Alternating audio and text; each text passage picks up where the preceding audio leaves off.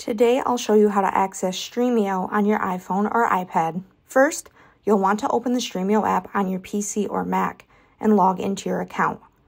Once you're logged in, head over to the Settings menu.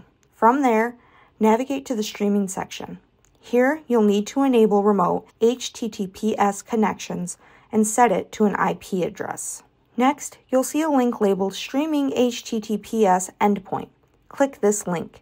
To make it easier to transfer this link to your iPhone or iPad, I recommend pasting it into an email draft that you can easily access on your mobile device. Now, grab your iPhone or iPad and open Safari. Open the email draft, copy the link from it, and paste it into Safari's address bar. This will take you to the Stremio login page. Log into your Stremio account on this web page. Once you're logged in, you'll want to add this page to your home screen for easy access in the future. To do this, Click the share button at the bottom of the screen and scroll down until you see the option to add it to the home screen.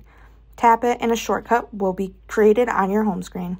Just remember, for this method to work, you need to keep the Stremio app running on your PC whenever you want to use it on your iPhone or iPad.